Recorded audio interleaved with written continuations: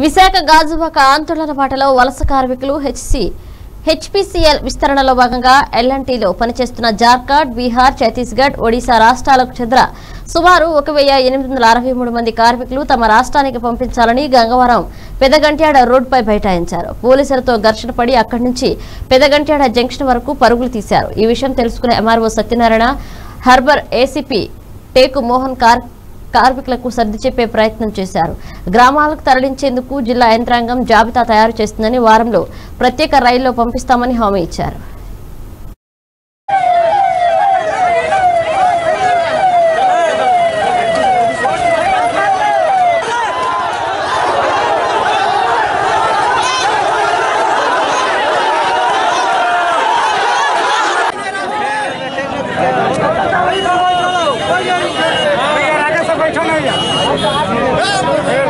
चलो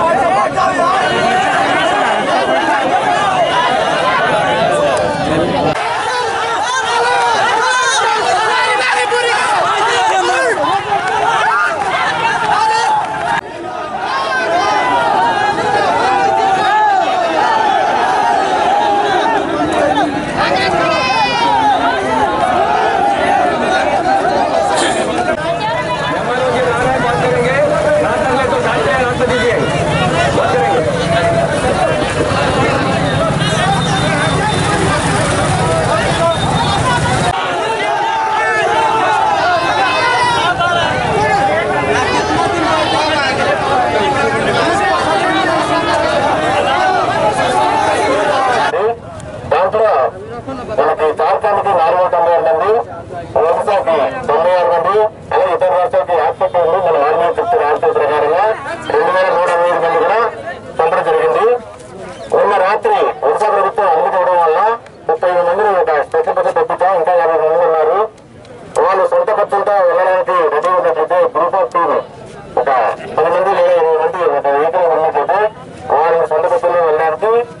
రాష్ట్ర